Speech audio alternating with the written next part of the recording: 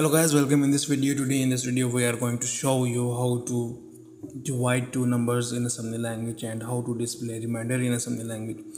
So let's start our today video without any further delay.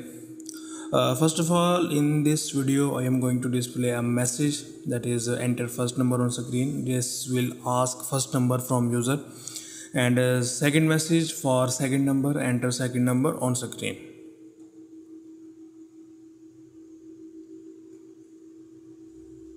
so now here I am going to initialize two variables to store two numbers that we are going to take input from user.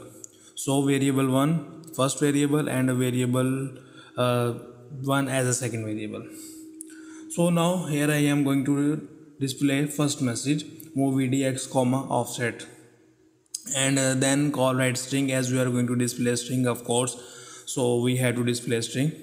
And then call read int we are going to take input as an integer and uh, then we are going to store input value in a variable. So here i am going to move accumulator register value into variable. So now i am going to copy these three lines and uh, going to repeat this for second message and changing variable uh, message one and uh, then call read read here i have done already and now I am going to move second input value into second variable. So we are having two variables value in uh, sorry we are having two values in two variables. So now we are going to perform division. First of all we need to move edx0 uh, that is necessary to get remainder as we are going to display remainder in our video so that is necessary. We have to follow.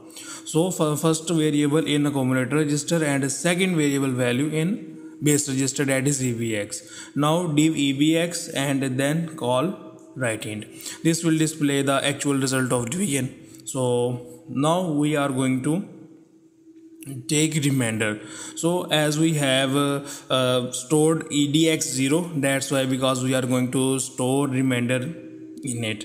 So now we are going to display it.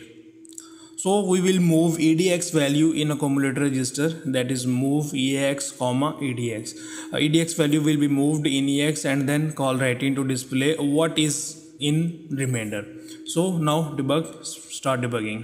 Let's check our program yes you can see enter first number.